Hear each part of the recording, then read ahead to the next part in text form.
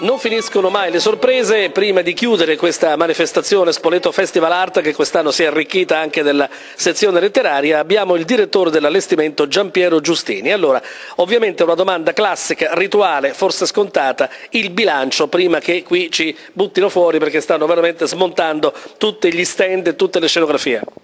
Ma indubbiamente siamo in tardo orario, quindi stanno tutti aspettando per smontare tutto, però devo dire che l'allestimento è stato come l'anno scorso, eh, complimentato da, da, tutti gli espositori, eh, è stata come al solito una faticaccia perché quest'anno eh, ci si è messo di mezzo anche la, il lirico sperimentale e quindi abbiamo dovuto lavorare un giorno di meno, eh, però eh, grazie a, a, quei ragazzi che hanno, si sono sacrificati per molte ore è stato possibile allestire anche quest'anno eh, tutti i padiglioni e quindi come ripeto con molti complimenti da parte degli espositori.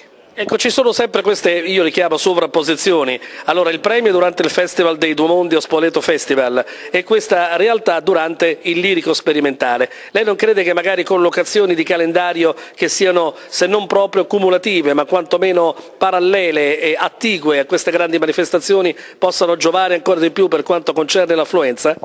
Beh, chiaramente, chiaramente il periodo diciamo, eh, post festival sarebbe, sarebbe mh, come si dice, migliore di questo, anche perché viene da, eh, la gente magari mh, ha fatto le sue ferie e quindi si sposta di meno, certamente, però mh, come dice Luca Filipponi, altre date che coincidono, ci sono date che coincidono con altre manifestazioni in altre città, vengono decise anche a livello regionale, quindi diventa difficile eh, abbiamo questa data e purtroppo bisogna, e bisogna tenerla. Beh, ma questa è una domanda che anticipa comunque un appuntamento del prossimo anno perché già voi lavorerete da domani per l'edizione del 2012 e per quanto riguarda il primo segmento che è quello della premiazione si è parlato del 14 luglio. Ecco, il 14 luglio del 2012 sarà un, un sabato e quindi lì ci sarà il premio eh, Spoleto Festival Art e non ci sarà più il festival, quindi praticamente lì siamo in qualche modo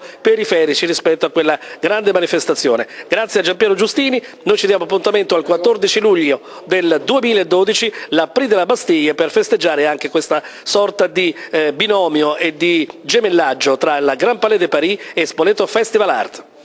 Bene, eh, abbiamo tra i tanti scultori, pittori e partecipanti a Spoleto Festival Art anche Guasca, questo è il suo nome d'arte, che presenta questa bellissima scultura. Io non so se questo è alabastro o quale altro tipo di materiale, lei ci illustrerà e ci erudirà in tal senso. Sicuramente, allora, eh, dunque qui abbiamo una scultura eh, in questo stile diciamo che è diventata la mia griffa, cioè nel senso del corpo umano che viene diciamo aperto e, e sezionato, diciamo. Se, se, uno serial killer quasi. Una, una mezza specie, sì. infatti hanno detto che ho qualcosa in comune con lo squartatore perché prendo i corpi, i corpi e li faccio a pezzi. Scusi, le faccio una domanda, lei è più scultrice o anatomopatologa? È uno scioglilingua, non, una via di mezzo. Non l'abbiamo ancora capito e comunque appunto dall'altra parte c'è sempre poi un viso, un volto, diciamo che che va interpretato.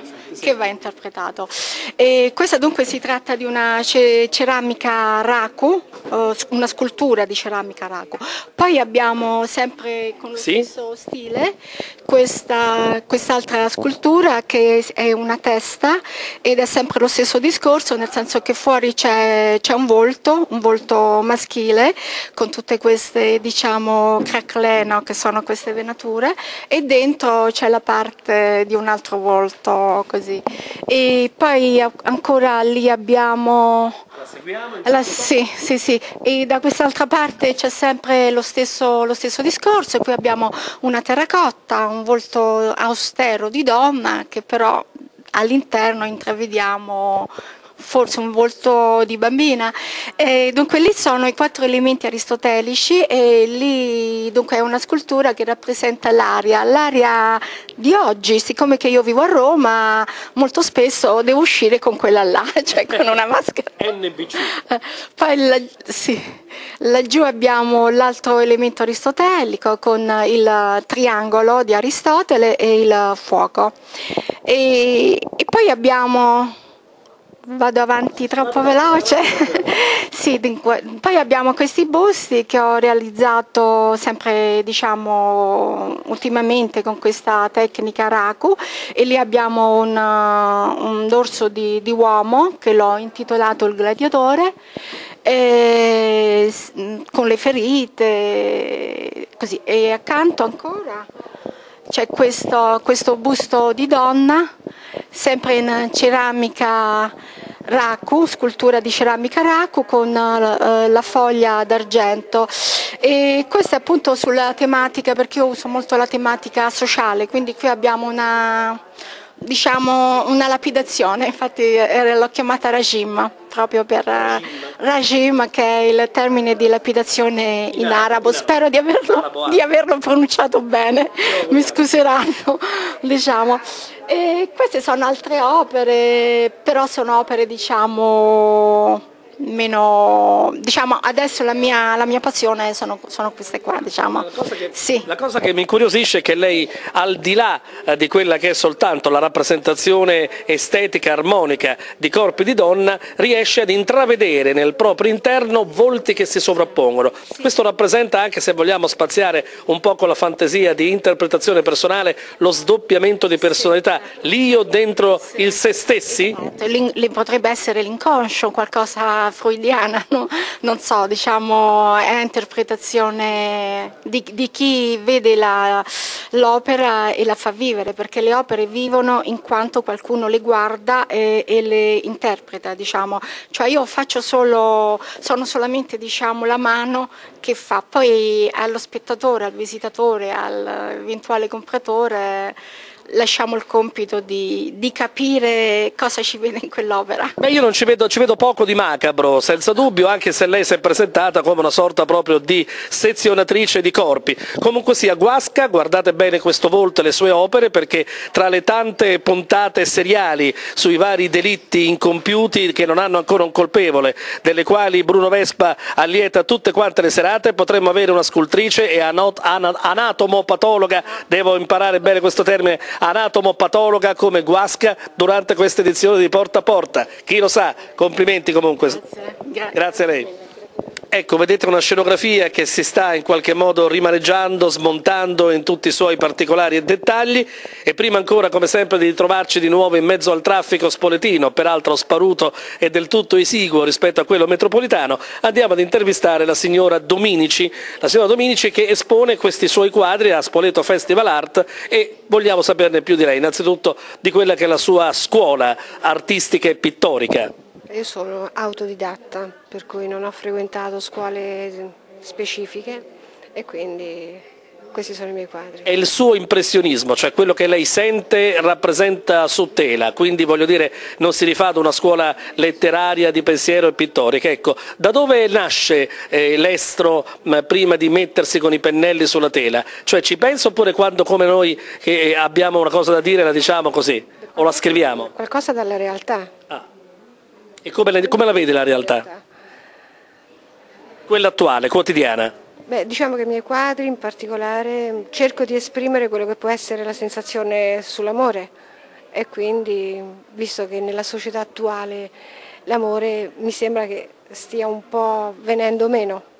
Quindi tinte fosche? Sì, abbastanza. E le vedo i fatti perché eh, lei usa anche un nero fumo, un po' fumo di Londra, su quelli che sono i suoi quadri effetti sì. Sono scuri ma sono anche la rappresentazione del momento. Lei pensa che questa oscurità possa dare eh, spazio e adito a colori più policromi, così, in così dire, più eh, neopsichedelici? Sicuramente sì, ma non, non è questo il momento per me, quindi quando cambieranno i tempi anche la signora Dominici si adatterà ai tempi cambiati in meglio. Sicuramente sì. E noi che siamo degli, degli ottimisti ce lo auguriamo. Grazie signora Dominici. Grazie a voi, grazie di tutto. Tutta Italia viene rappresentata a Spoleto Festival Art, abbiamo visto artisti venire dalla capitale, dalla qui vicina Umbria, Terni e altri artisti che vengono dalla Puglia, in questo caso da Carovigno, vicino Ostuni, in provincia di Brindisi. Abbiamo una coppia artistica perché si contemperano e compensano. Abbiamo Maria Conserva e Giuseppe Colucci che sono autori di questi bellissimi quadri cangianti che veniamo che vediamo alle nostre spalle. Allora, Lo dica proprio, si presenti da sola signora. Perfetto, allora buongiorno, sono Maria Conserva, sono una pittrice, eh, la mia ricerca diciamo, eh, verte sul colore e sull'uso del, dell'olio che ehm, eh, viene applicato in modo anche un po' particolare e innovativo, nel senso che non è il solito accostamento ma è una sovrapposizione di passaggi che poi portano a questo senso del colore, come è stato detto eh, da Vittorio Sgarbi che mi ha presentato a Milano nel 2006 presso la alla Galleria eh, Mignaci, Art Gallery in via Brera 2. E la mia tematica è una tematica che verte sul tempo, che si scompone attraverso queste scacchiere o queste strutture, come dice Sgarbi, alla Paul Klee, eh, ma anche diciamo, in queste nature morte eh, che io mm, eh, eh, inquadro partendo dal post-espressionismo e partendo anche dalla scuola di Cézanne, che lui appunto in catalogo nel testo dice che io ho acquisito e superato trovando una mia identità espressiva successiva.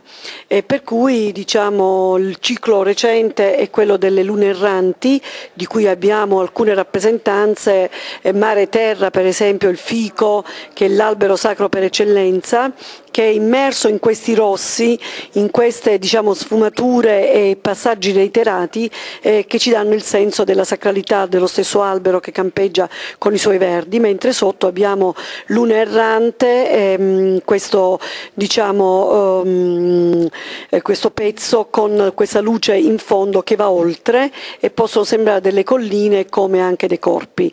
Mentre una delle ricerche ultime anche abbiamo qui la ragione dormiente che con i suoi capelli scompare compone questi cubi alla clea, eh, diciamo, eh, che appunto rappresentano una città delle scorie eh, che appunto quando la ragione dorme in realtà tutto si assopisce, tutto si scompone, tutto si degrada.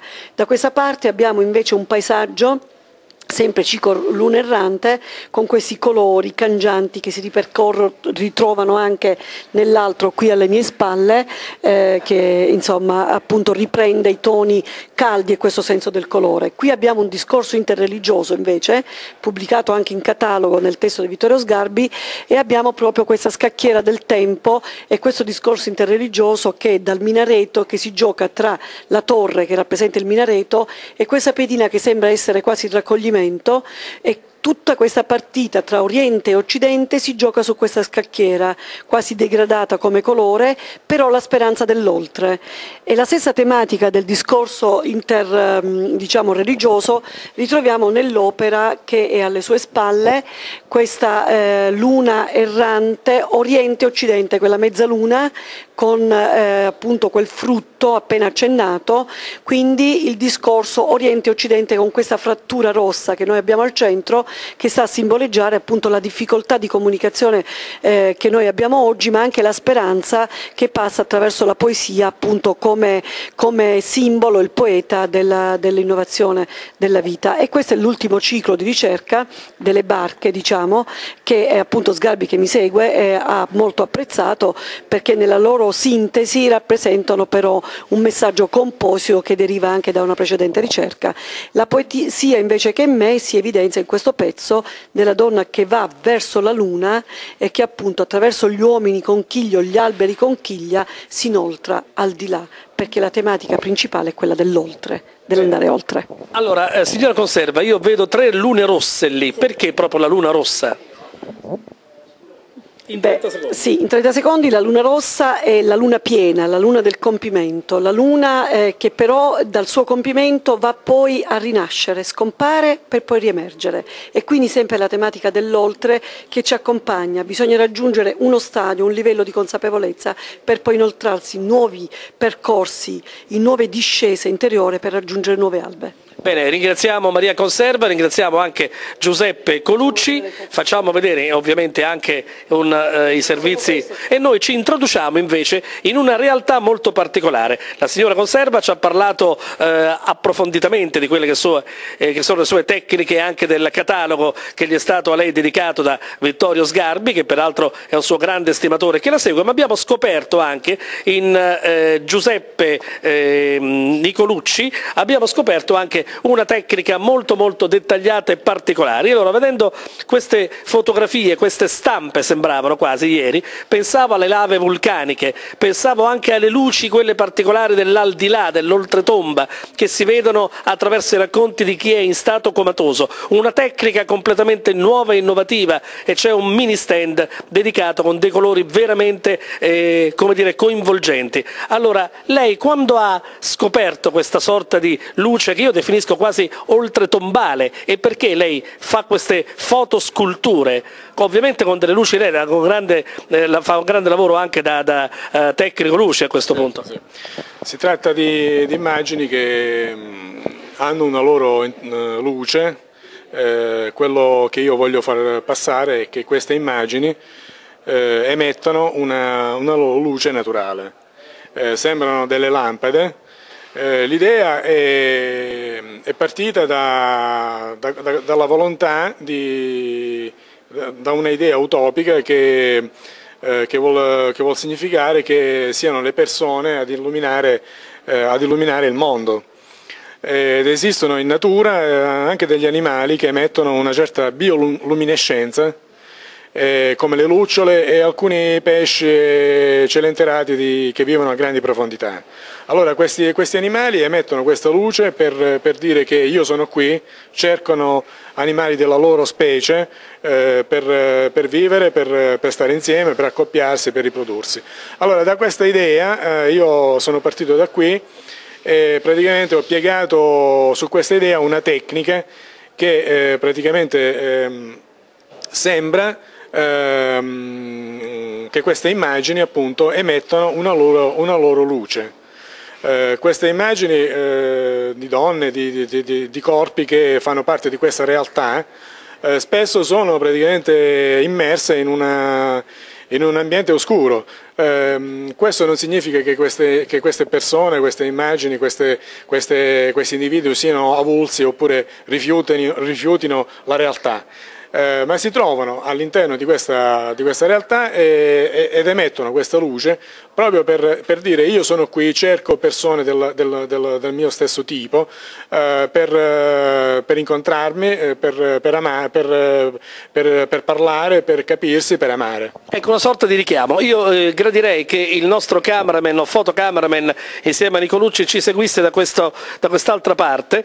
Eh, ecco Giuseppe Colucci, qui vediamo proprio il suo stand. Qui ci sono dei colori veramente straordinari. Io che sono un amante del verde pistacchio e del blu sono stato particolarmente affascinato da questa sua opera. Ecco, questo è un richiamo forse meno, eh, dire, meno trascendentale rispetto agli altri, forse più armonico, più poetico. Questo azzurro, questo blu elettrico, che tipo di richiamo è se lei dovesse identificarlo proprio in una scala eh, di eh, dire, eh, simboli identificativi policromi, la diciamo così come quelli che parlano bene? Sì, io ripeto, ehm le, le, immagini possono anche avere dei colori diversi, no? Eh, non, non, non, necessariamente devono essere gialli o rossi.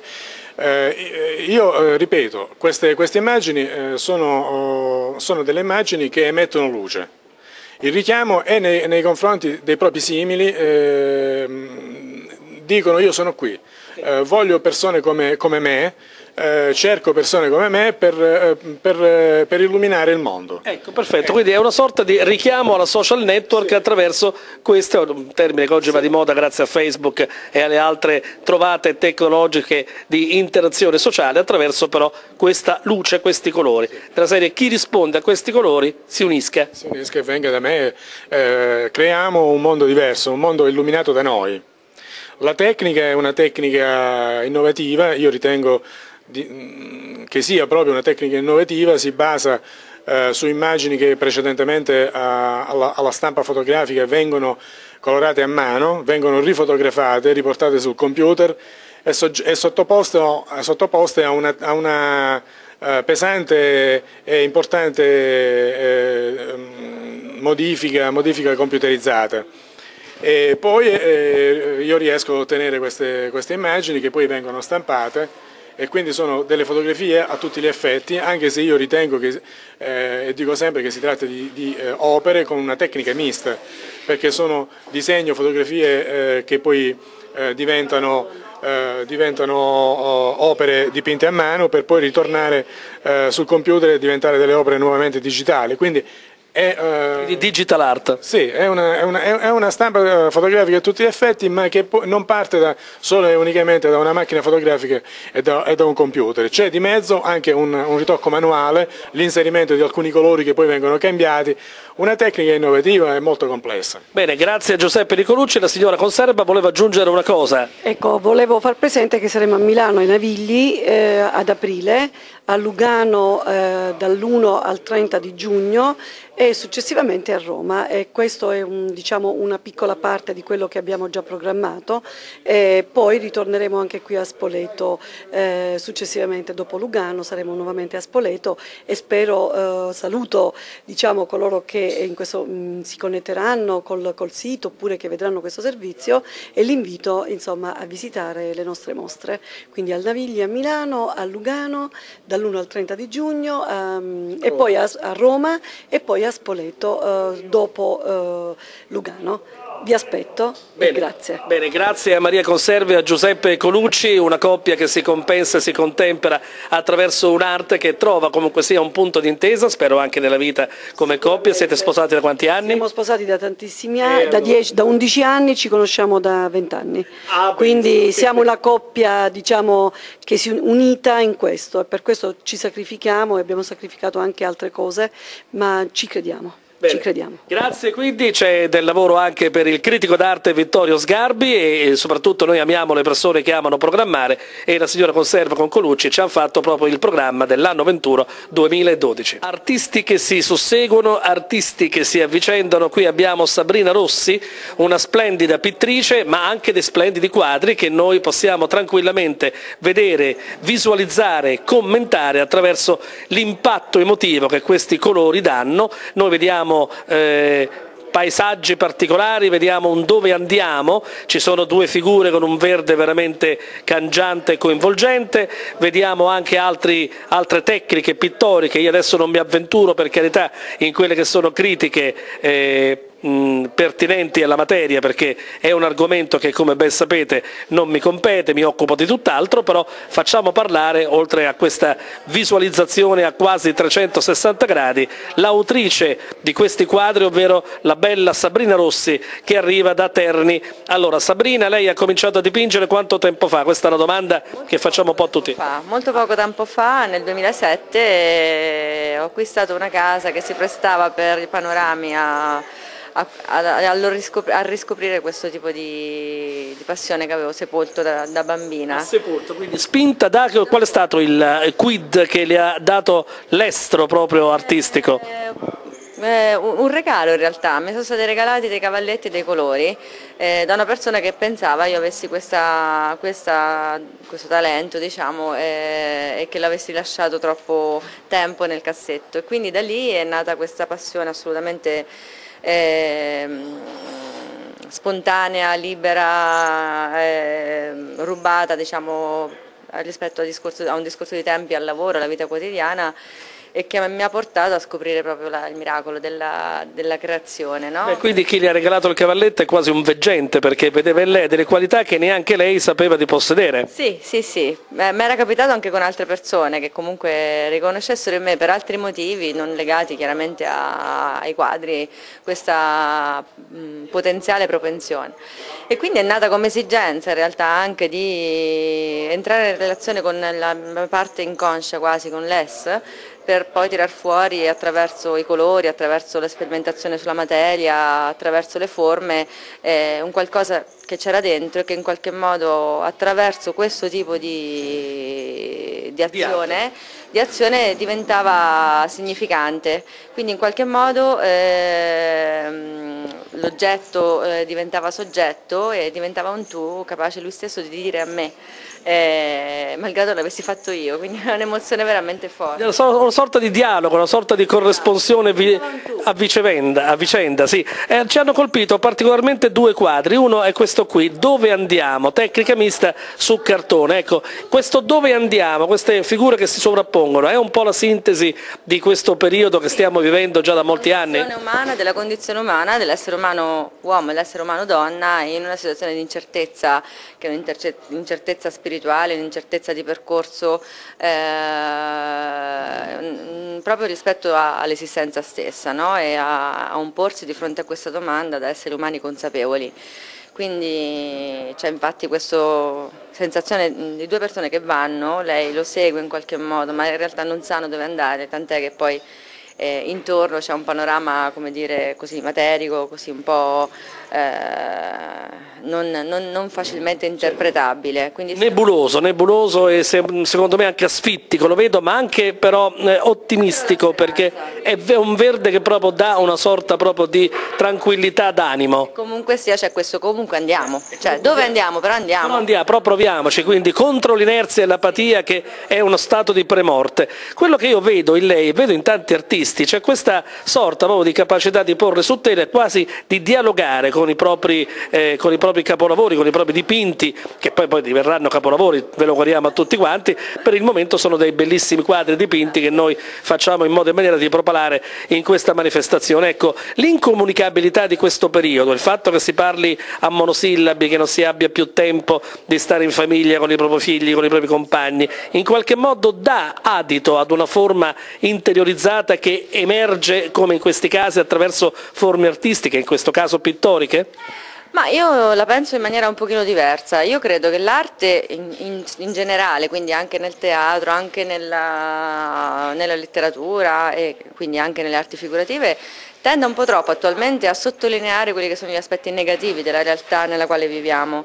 Io sono più per invece eh, manifestare la gioia e l'entusiasmo, anche, anche, la sofferenza, per esempio in Mare da Dentro c'è stato un percorso mio interiore di grande sofferenza che poi però alla fine dalla rigidità di questo mare diciamo, che sommerge, che affoga, eh, esplode diciamo, in una ribellione che comunque è vitale. Eh Io credo che l'arte in questo momento non ci sia più bisogno di dire quanto, quanto la realtà sia brutta, quanto sia piena di contraddizioni, quanto sia eh, forte il dolore diffuso nel mondo, ma c'è bisogno di dire, come appunto dico nel quadro, eppure quanto ci sia ancora, c'è bisogno di incantarsi ancora, di incantarsi ancora e di entusiasmarsi ancora. Quindi anche eh, in un rapporto diciamo sempre comunque dualistico con se stessi, con il mondo, però eh, la risposta è sempre un sì.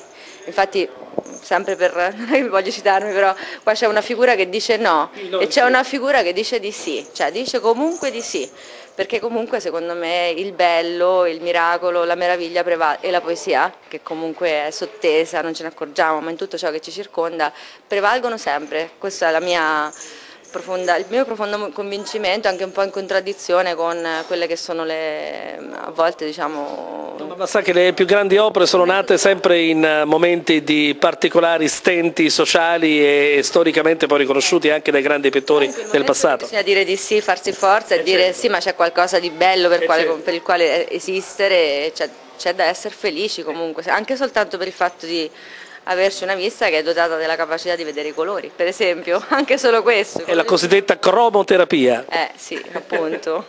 Bene, noi ringraziamo Sabrina Rossi e ci auguriamo veramente che le sue opere, i suoi ritratti, i suoi quadri possano incutere questa sorta di positività e guardare il bicchiere sempre dalla parte mezza piena, anziché quella mezza vuota. Grazie a Sabrina Rossi. Grazie Quante volte abbiamo parlato dei rifiuti del terremoto dell'Aquila, di tutte quante le macerie che a distanza di due anni giacciono sopite uscite nelle piazze suscitando l'indignazione di tutta Italia, di tutto il mondo, oltre che della popolazione aquilana che si è vista completamente abbandonare. C'è stato anche un film molto polemico di Sabina Guzzante su questo, ma c'è chi aiuta lo smaltimento di questi rifiuti, di questa rimozione, di queste macerie, anche un triste e, e devo dire eh, macabro ricordo di quella notte del 6 aprile del 2009 come eh, la nostra Matilde Moulet, un'artista che attraverso l'arte parte compositiva ha pensato bene di prendere dei frammenti a ricordo di quello che era l'Aquila un tempo e anche voglio dire per dare una sorta di speranza per una ricostruzione rapida e uno smaltimento veramente efficace, non come quello che si è detto e non si è fatto. Allora guardiamo questo eh, dipinto, questo quadro, sono frammenti, mi spiegava e poi ce lo dirà meglio lei, di eh, intonaci, carte da parati, tutti materiali che lei ha rovistato in mezzo alle macerie. In mezzo alle macerie, diciamo tutti i recuperi di, di scatti, scatti che venivano buttati e che io ho recuperato mentre facevano eh, mentre, mentre, creavano dei, delle impalcature per rendere agibili questi, questi, edifici, ho recuperato all'interno di questi edifici, ma anche all'esterno, come lapidi, come lapidi diciamo, stradali o altri, anche, che, anche oggetti di ceramica, distrutti, tegole, l'ho recuperato e ho ricomposto in una composizione di artistica inserendo appunto il colore che purtroppo durante il terremoto non c'è più e queste, queste inserzioni anche di paste vitree compreso l'oro, questo è proprio oro. Questo è oro autentico? autentico oro che ho inserito per, eh, per, appunto, per creare una composizione artistica che rendesse luminoso anche questo tratto di macerie, questo pezzo di macerie e la, questa luminosità per me individuano, per io, che, per me che sono, io sono una credente, per cui per me indica la luce divina che malgrado, malgrado il disastro che è avvenuto all'Aquila, comunque, comunque riesce a ricomporre in maniera artistica. Eh, questi, questi, oggetti diciamo, di scatto, considerati ecco, di dove, no, dove, non vediamo l'oro vediamo ad esempio queste eh, interiazioni così incastri verdi, verde, verde pistacchio. Pasta vitrea, questa è pasta, pasta vitrea, pasta vitrea, sono tasselli e di pasta vitrea, che questi sono, vengono da Venezia, ah, questi sono veneti. veneti. C'è, quindi questa commistione che eh, dire, esula da, che il, da, quelli che sono i reperti. Sì, sì, è un mosaico, è un mosaico. sono tessere di mosaico, tessere perché di mosaico. io sono anche mosaicista e sono tessere di mosaico che ho utilizzato per ricomporre, come in un mosaico, per ricomporre questi frammenti di intonaco e carta da parati di una casa del Settecento Ecco, una casa del Settecento. In questo caso è una carta da parati intonaco di una casa del, del 700-600. Ecco, preghiamo il nostro fotocameraman di avvicinarsi per far vedere proprio che questa molto delicatamente perché sono materiali che sì, si possono, delicati, tra il trasporto e tra chi tocca come me in questo caso, possono essere in qualche modo sgretolati e non vogliamo assolutamente rovinare quest'opera. Questa è carta da parati. Ho utilizzato delle paste vitree, da queste paste vitree ho fatto fuoriuscire appunto del colore no? che, che, diciamo che ingloba tutti questi frammenti rendendo un tutt'uno e nella speranza appunto che si ricomponga anche, anche la nostra città. La città ecco, Frammentum Aquile, questa si chiama la sua opera, ha esposto solo questo o ce ne sono delle altre, sempre sullo stesso stile? Lavorando su dei dittici e dei trittici, sempre che ricompongono sempre degli ambienti, dei particolari sempre aquilani. Allora, al di là di arte parliamo veramente della situazione attuale. A due anni e mezzo dal sisma, siamo ormai ad ottobre 2011, qual è lo stato dell'Aquila? E purtroppo il centro storico, la parte più bella dell'Aquila è ancora in stato, eh, in stato di rudere. Di... Al, al, di là dei puntellamenti ci sono ancora le macerie?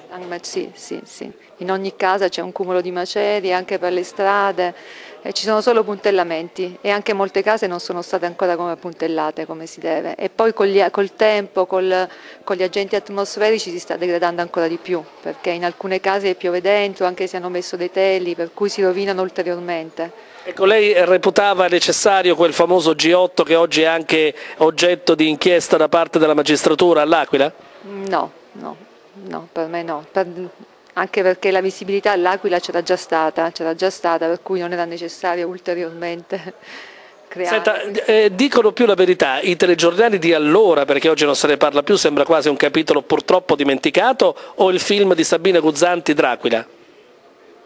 Forse più il film, forse più il film.